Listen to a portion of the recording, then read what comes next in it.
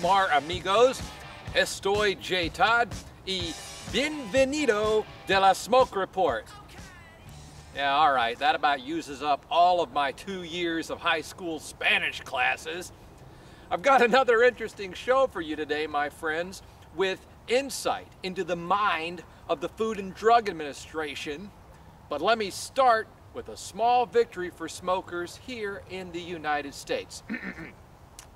On our show from August 30th of this year, we talked about the disgusting new campaign by the Food and Drug Administration to put warning labels on packs of smokes in what looked like a juvenile scare tactic.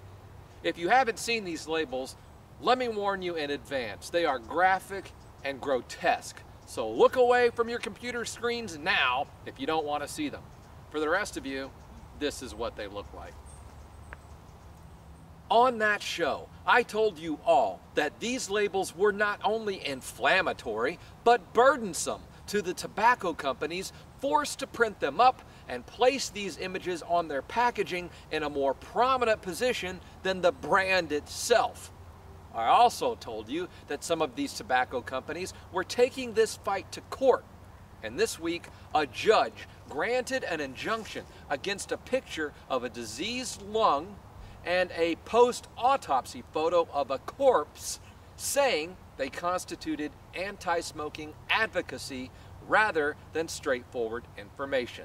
As a result, such images could violate the tobacco company's First Amendment rights.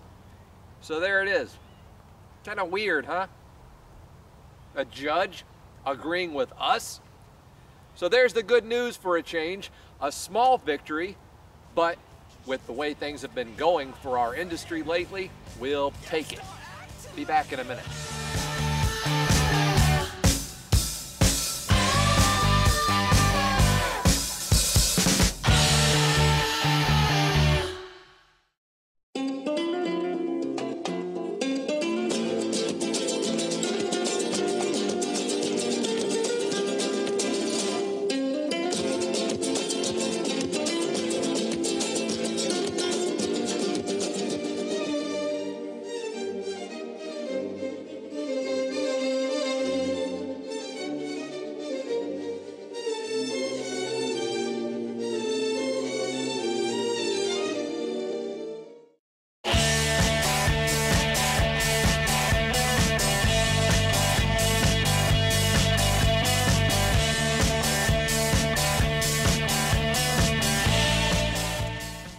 Keeping up with our theme of ridiculous and inflammatory ads comes a story from Iowa warning that bacon, yes, I said bacon, can cause rectal cancer.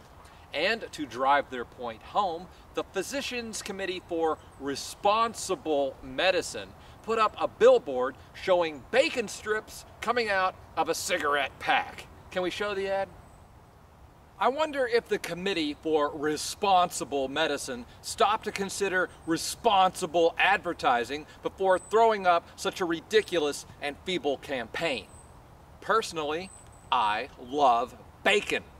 My only complaint is that I can't keep it lit long enough to get a good draw off of it.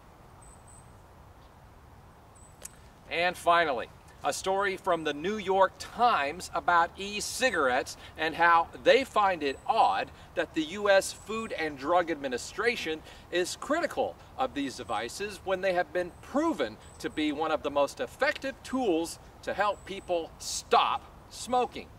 You see, the FDA views e-cigs as a drug delivery device.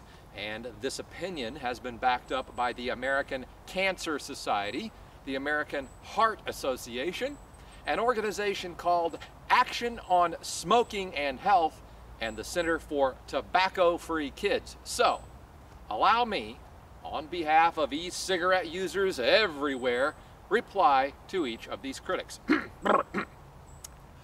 American Cancer Society. E-cigs have never been shown to cause cancer. So shut up.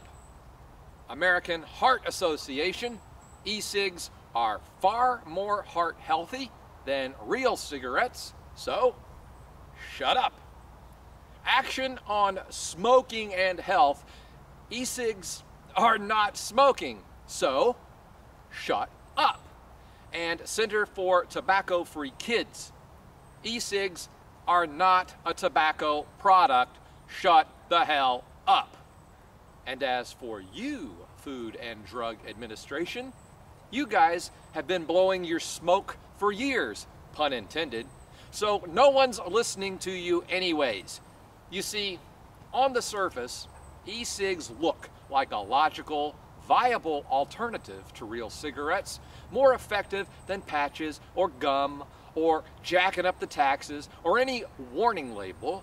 So why does a federal organization like the FDA hate them so much? Maybe, hear me out here, maybe the government doesn't really want us to stop smoking. Follow me. Big Tobacco spends a hell of a lot of money lobbying and making uh, campaign contributions, if you know what I mean. All that cash disappears if there are no more tobacco companies. So maybe, just maybe, all of this really isn't about the safety of e-cigs at all. Maybe it's about the money. Just like it always is. We'll find out for sure as soon as our government figures out a way to tax e-cigarettes like they tax tobacco. When that happens, you watch, my friends, all of the supposed health concerns are going to vanish like vapor in the air. We'll see you in two weeks right here on the Smoke Report.